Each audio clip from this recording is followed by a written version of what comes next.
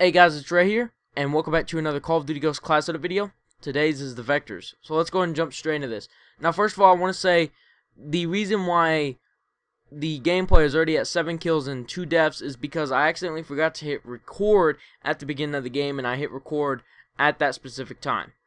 So let's go ahead and jump straight into this. So, the primary weapon, of course, is the Vector. It's an SMG, which means you're going to be moving at 100% base speeds, which means you will have speed on your side when moving. The attachments. Your first attachment you're going to want, or this is my opinion, is the red dot sight because I don't like the iron sights on the Vector.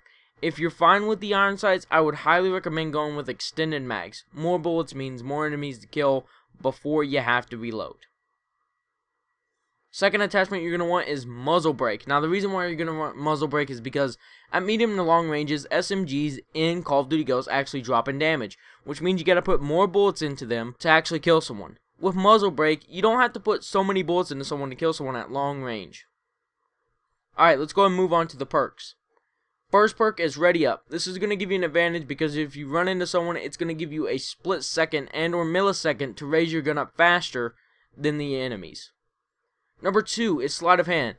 This, obviously, we all know what it does. It makes it so you can reload very fast and very quick.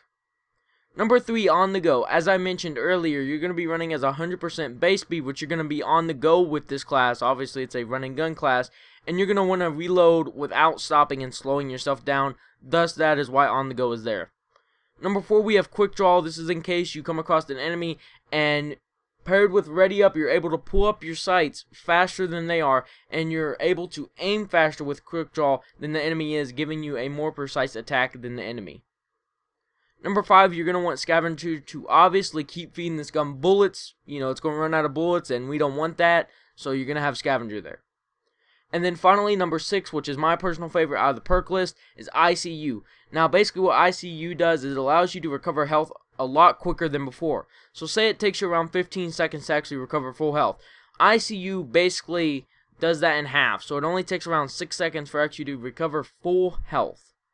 This especially comes in handy when you're being shot, you run around a corner, and you'll be able to regain health quicker and then go back around the corner and shoot the enemy that was shooting at you.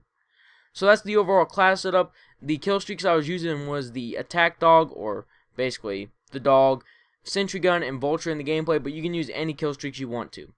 So that's the class setup. I hope you guys enjoyed the video, and I'll catch you guys next time. Peace.